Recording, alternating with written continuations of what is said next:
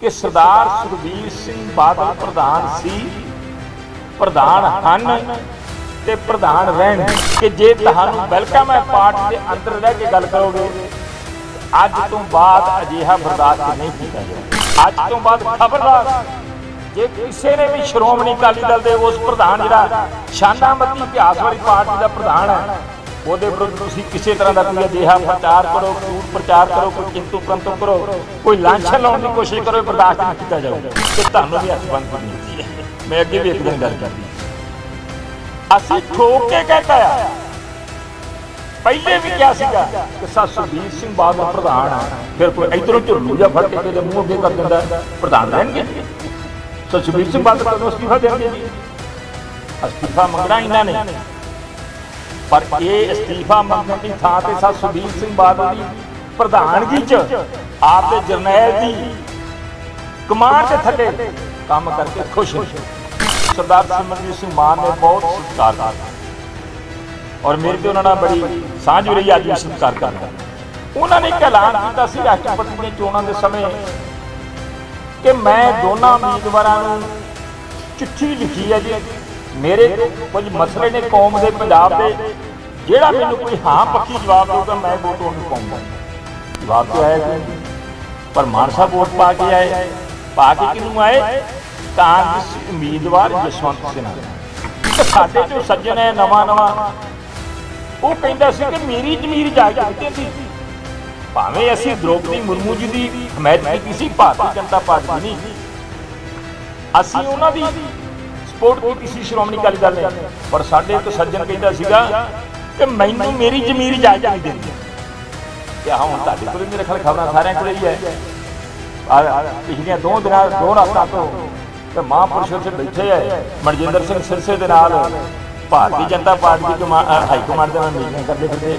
ਚਾਹੇ ਛੋਟਾ ਚਾਹੇ ਵੱਡੇ ਤੋਂ ਵੱਡਾ ਆਗੂ ਹੈ, ਹਾਲ ਦੇ ਅੰਦਰ ਮੀਟਿੰਗ ਦੇ ਵਿੱਚ ਜੋ ਵਿਚਾਰ ਰੱਖੋਗੇ ਸਤਿਕਾਰ ਕਰਾਂਗੇ, ਕਿਸੇ ਵੀ ਤਰ੍ਹਾਂ ਦਾ ਹੋਊਗਾ। ਪਾਰਟੀ ਜਾਬਤੇ ਤੋਂ ਬਾਹਰ ਬਰਦਾਸ਼ਤ ਨਹੀਂ ਕੀਤਾ ਜਾਊਗਾ। ਵਿਰੋਧੀਆਂ ਨੂੰ ਤਕੀਦ ਕਰਦੇ ਆ, ਖਬਰਦਾਰ ਕਰਦੇ ਆ ਕਿ ਸਾਡੇ ਪਾਰਟੀ ਪ੍ਰਧਾਨ ਵੱਲ ਉੱਠੀ ਹੋਈ ਉਂਗਲ ਹੁਣ ਬਰਦਾਸ਼ਤ ਨਹੀਂ ਕੀਤੀ ਜਾਊਗੀ। ਸ਼੍ਰੋਮਣੀ ਅਕਾਲੀ ਦਲ 'ਚ ਅੰਦਰ ਖਾਤੇ ਵੱਡੀ ਖਿਚੜੀ ਪੱਕ ਰਹੀ ਹੈ ਤੇ ਰੋਜ਼ਾਨਾ ਅਜਿਹੀਆਂ ਮੀਟਿੰਗਾਂ ਹੋ ਰਹੀਆਂ ਨੇ ਜੋ ਪਾਰਟੀ ਪ੍ਰਧਾਨ ਨੂੰ ਭਰੋਸੇ 'ਚ ਲਏ ਤੋਂ ਬਗੈਰ ਹੀ ਸੀਨੀਅਰ ਆਗੂਆਂ ਵੱਲੋਂ ਕੀਤੀਆਂ ਜਾ ਰਹੀਆਂ ਨੇ, ਜਿਸ ਤੇ ਚੱਲਦਿਆਂ ਸ਼੍ਰੋਮਣੀ ਅਕਾਲੀ ਦਲ ਦੇ ਸੀਨੀਅਰ ਆਗੂ ਅਤੇ ਸਾਬਕਾ ਵਿਧਾਇਕ ਵਿਰਸਾ ਸਿੰਘ ਵਲਟੋਆ ਨੇ ਪ੍ਰੈਸ ਕਾਨਫਰੰਸ ਕੀਤੀ ਹੈ। ਉਹਨਾਂ ਨੇ ਕਿਹਾ ਕਿ ਅੱਜ ਜ਼ਿਲ੍ਹਾ ਪ੍ਰਧਾਨਾਂ ਦੀ ਮੀਟਿੰਗ ਹੋਈ ਹੈ। ਉਹਨਾਂ ਨੇ ਦੱਸਿਆ ਹੈ ਕਿ ਧੁੰਦਾ ਕਮੇਟੀ ਦੀ ਰਿਪੋਰਟ ਵਿੱਚ ਪ੍ਰਧਾਨ ਬਦਲਣ ਦੀ ਗੱਲ ਨਹੀਂ ਹੋਈ ਸੀ। ਸੁਖਬੀਰ ਸਿੰਘ ਬਾਦਲ ਪ੍ਰਧਾਨ ਸਨ। ਤੇ ਰਹਿਣਗੇ। ਵਿਰਸਾ ਸਿੰਘ ਵਲਟੋਆ ਨੇ ਕਿਹਾ ਕਿ ਸੁਖਬੀਰ ਸਿੰਘ ਬਾਦਲ ਦੀ ਅਗਵਾਈ ਤੇ ਮਾਨ ਤੇ ਫਕਰ ਹੈ। ਕੋਈ ਵੀ ਲੀਡਰ ਪਾਰਟੀ ਪਲੇਟਫਾਰਮ ਤੇ ਗੱਲ ਕਰੇ, ਬਾਹਰ ਕੋਈ ਗੱਲ ਨਾ ਕਰੇ। ਉਹਨਾਂ ਨੇ ਕਿਹਾ ਕਿ ਜੇਕਰ ਕੋਈ ਪ੍ਰਧਾਨ ਦੇ ਖਿਲਾਫ ਬੋਲੇਗਾ ਜਾਂ ਬੋਲ ਰਿਹਾ ਹੈ, ਉਸ ਨੂੰ ਬਰਦਾਸ਼ਤ ਨਹੀਂ ਕੀਤਾ ਜਾਵੇਗਾ। ਪਹਿਲੀ ਤੇ ਗੱਲ ਮੈਂ ਦੱਸਦਾ ਹਾਂ ਸਾਹਿਬ ਬਾਲ ਸਿੰਘ ਝੁੰਦਾ ਨਾਲ ਬੈਠੇ ਨੇ। ਮੈਂ ਵੀ ਉਸ ਕਮੇਟੀ ਦਾ ਮੈਂਬਰ ਹਾਂ। ਤਿੰਨ ਜ਼ਿਲ੍ਹਾ ਪ੍ਰਧਾਨ ਅਸੀਂ ਉਸ ਕਮੇਟੀ ਦੇ ਮੈਂਬਰ ਹਾਂ ਸਤੀਰ ਸਿੰਘ ਮਾਲਾ ਬੈਠੇ ਨੇ। ਔਰ 13 ਮੈਂਬਰ ਸੀ ਤੇ 13 ਦੇ 13 ਮੈਂਬਰਾਂ ਨੇ ਸਰਬਸੰਮਤੀ ਦੇ ਨਾਲ ਆਪਸੀ ਪੂਰੀ ਸਹਿਮਤੀ ਦੇ ਨਾਲ ਲੰਬਾ ਸਮਾਂ ਮੀਟਿੰਗਾਂ ਕਰਨ ਤੋਂ ਬਾਅਦ ਇੱਕ ਇੱਕ ਸ਼ਬਦ ਜਿਹੜਾ ਆ ਆਪਸੀ ਸਹਿਮਤੀ ਨਾਲ ਦਰਜ ਕੀਤਾ ਉਹਦੇ ਵਿੱਚ ਕਿਸੇ ਵੀ ਥਾਂ ਤੇ ਇੱਕ ਵੀ ਸ਼ਬਦ ਪ੍ਰਧਾਨ ਨੂੰ ਬਦਲਣ ਨੂੰ ਲੈ ਕੇ ਨਹੀਂ ਹੈਗਾ। ਔਰ ਇਹ ਤੁਹਾਨੂੰ ਕਲੀਅਰ ਕਰ ਦਈਏ ਕਿ ਸਰਦਾਰ ਸੁਖਬੀਰ ਸਿੰਘ ਬਾਦਲ ਪ੍ਰਧਾਨ ਸੀ। ਪ੍ਰਧਾਨ ਹਨ ਤੇ ਪ੍ਰਧਾਨ ਰਹਿਣਗੇ। ਬੋਲੇ ਸੋ ਇਹ ਜਿੰਨੇ ਜ਼ਿਲ੍ਹਾ ਪ੍ਰਧਾਨ ਬੈਠੇ ਨੇ ਜਿਹੜੇ ਐਕਟਿੰਗ ਤੌਰ ਤੇ ਕੰਮ ਕਰ ਰਹੇ ਨੇ ਇਹ ਪੰਜਾਬ ਦੇ ਸ਼੍ਰੋਮਣੀ ਅਕਾਲੀ ਦਲ ਦੇ ਸਮੂਹ ਵਰਕਰ ਸਹਿਬਾਨ ਦੀ ਸਮਰਥਕ ਸਹਿਬਾਨ ਦੀ ਸਾਰਿਆਂ ਦੀ ਇਹ ਪ੍ਰਤੀਨਿਧਤਾ ਕਰਦੇ ਨੇ। ਔਰ ਅਸੀਂ ਸਰਦਾਰ ਸੁਖਬੀਰ ਸਿੰਘ ਬਾਦਲ ਦੀ ਅਗਵਾਈ ਦੇ ਵਿੱਚ ਪੂਰਨ ਭਰੋਸਾ ਪ੍ਰਗਟ ਕਰਦੇ ਹਾਂ। ਔਰ ਪੂਰਨ ਭਰੋਸਾ ਪ੍ਰਗਟ ਇੱਕ ਸ਼ਬਦ ਹੈ। ਪਰ ਸਾਨੂੰ ਸਰਦਾਰ ਸੁਖਬੀਰ ਸਿੰਘ ਬਾਦਲ ਦੀ ਅਗਵਾਈ ਤੇ ਮਾਣ ਹੈ, ਫਖਰ ਹੈ ਕਿ ਸਰਦਾਰ ਸੁਖਬੀਰ ਸਿੰਘ ਬਾਦਲ ਵਰਗਾ ਦੂਰਾਂ ਦੇਸ਼ ਵਿਜ਼ਨਰੀ ਔਰ ਇੱਕ ਨਿਮਰ ਸੁਭਾਅ ਦਾ ਹਰੇਕ ਵੱਡੇ ਤੋਂ ਲੈ ਕੇ ਛੋਟੇ ਵਰਕਰ ਦਾ ਮਾਣ ਕਰਨ ਵਾਲਾ, ਸਤਿਕਾਰ ਕਰਨ ਵਾਲਾ ਤੇ ਨਾਲ ਡਟਣ ਵਾਲਾ ਤੇ ਵਿਰੋਧੀਆਂ ਦੇ ਵਿੱਚ ਭੈ ਪੈਦਾ ਕਰਨ ਵਾਲਾ ਸ਼੍ਰੋਮਣੀ ਅਕਾਲੀ ਦਲ ਦਾ ਪ੍ਰਧਾਨ। ਔਰ ਇੱਕ ਤੁਹਾਨੂੰ ਵੀ ਬੇਨਤੀ ਕਰਾਂਗੇ, ਵੈਸੇ ਤੇ ਹਰੇਕ ਪਾਰਟੀ ਦਾ ਅੰਦਰੂਨੀ ਜਾਬਤਾ ਹੁੰਦਾ ਹੈ, ਕੋਈ ਵੀ ਪਾਰਟੀ ਹੋਵੇ, ਉਸ ਪਾਰਟੀ ਨਾਲ ਸੰਬੰਧਿਤ ਕੋਈ ਵੀ ਆਗੂ ਹੋਵੇ, ਪਾਰਟੀ ਪਲੇਟਫਾਰਮ ਤੇ ਗੱਲ ਕਰੇ, ਵਿਚਾਰ ਰੱਖੇ, ਬਾਹਰ ਪਬਲਿਕਲੀ ਕਿਸੇ ਨੂੰ ਵੀ ਕੋਈ ਵੀ ਪਾਰਟੀ ਇਜਾਜ਼ਤ ਨਹੀਂ ਦਿੰਦੀ। ਇਸੇ ਤਰ੍ਹਾਂ ਹੀ ਸ਼੍ਰੋਮਣੀ ਅਕਾਲੀ ਦਲ ਦਾ ਜਾਬਤਾ ਹੈ। ਔਰ ਇੱਥੇ ਅਸੀਂ ਸਾਰਿਆਂ ਨੇ ਮੀਟਿੰਗ ਕੀਤੀ ਹੈ। ਹਾਲ ਦੇ ਅੰਦਰ ਕੀ ਕੀ ਵਿਚਾਰਾਂ ਹੋਈਆਂ ਨੇ, ਇੱਕ ਫੈਸਲਾ ਕੀਤਾ ਹੈ। ਉਸ ਫੈਸਲੇ ਤੋਂ ਬਾਹਰ ਜਾਣ ਦਾ ਪਾਰਟੀ ਦੇ ਜਾਬਤੇ ਦੇ ਅਨੁਸਾਰ ਕਿਸੇ ਨੂੰ ਅਧਿਕਾਰ ਨਹੀਂ।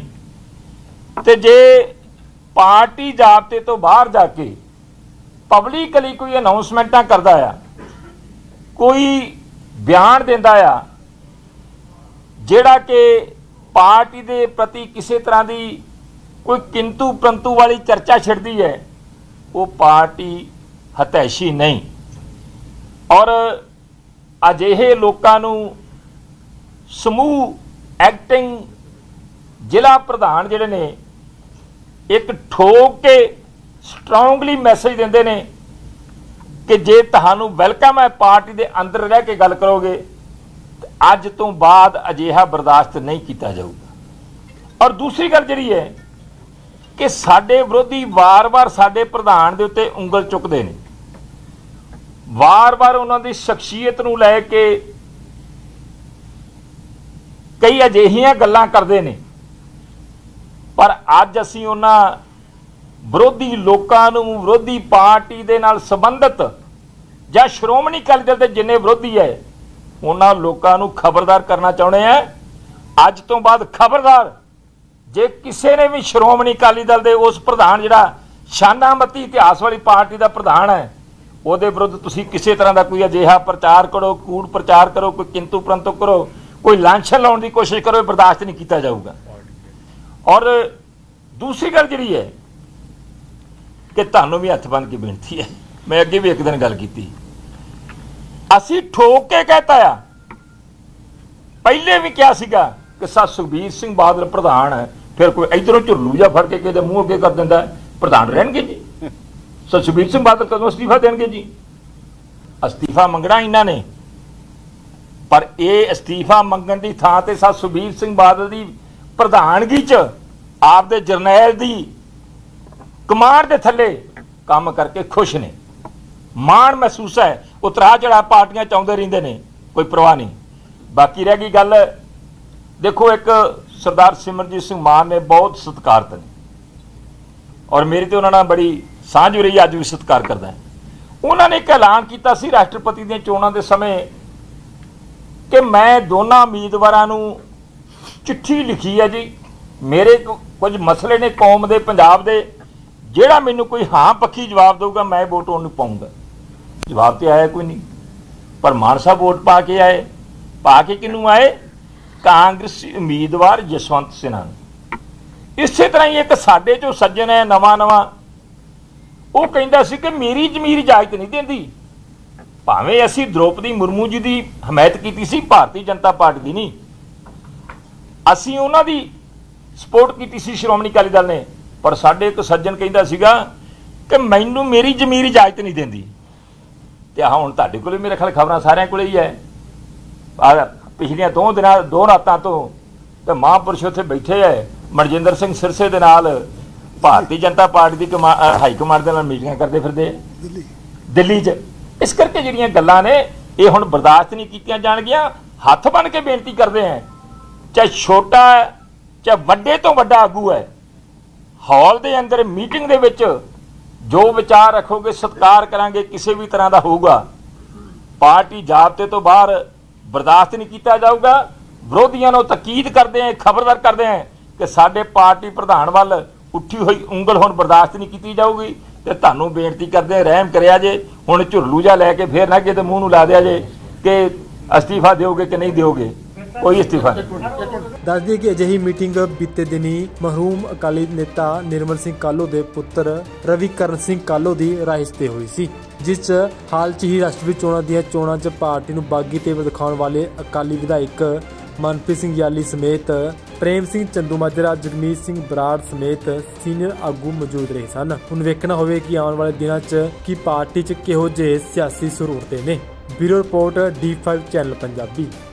ਹੋਏਗੀ ਕਿਸਾਨਾਂ ਦੀ ਗੱਲ, ਨਵੀਂ ਖੇਤੀ ਮਸ਼ੀਨਾਂ, ਬੀਜਾਂ ਤੇ ਬਾਗਾਂ ਦੀ ਗੱਲ। ਲੈ ਕੇ ਚੱਲਾਂਗੇ ਤੁਹਾਨੂੰ ਰੰਗਲੇ ਪੰਜਾਬ ਦੇ ਖੇਤਾਂ ਵੱਲ। ਦੇਖਣਾ ਨਾ ਭੁੱਲਣਾ ਸਾਡਾ ਖਾਸ programme farming with Amarjeet Waraich. ਸੋਮਵਾਰ ਤੋਂ ਸ਼ੁੱਕਰਵਾਰ ਸਵੇਰੇ 7:30 ਵਜੇ D5 ਚੈਨਲ ਪੰਜਾਬੀ ਤੇ। ਕੀ ਹੁੰਦੀ ਹੈ ਜਮਾਬੰਦੀ? ਕਿਵੇਂ ਬਣਦੀ ਹੈ ਵਸੀਅਤ? ਜ਼ਮੀਨ ਜਾਇਦਾਦ ਦੇ ਹਰ ਮਸਲੇ ਤੇ ਕਰਾਂਗੇ ਚਰਚਾ। ਦੇਖਣਾ ਨਾ ਭੁੱਲਣਾ ਸਾਡਾ ਖਾਸ ਪ੍ਰੋਗਰਾਮ ਨਾਇਬ ਤਹਿਸੀਲਦਾਰ.com E5 ਚੈਨਲ ਪੰਜਾਬੀ ਹੁਣੇ ਸਬਸਕ੍ਰਾਈਬ ਕਰੋ ਬੈਲ ਆਈਕਨ ਤੇ ਕਲਿੱਕ ਕਰੋ।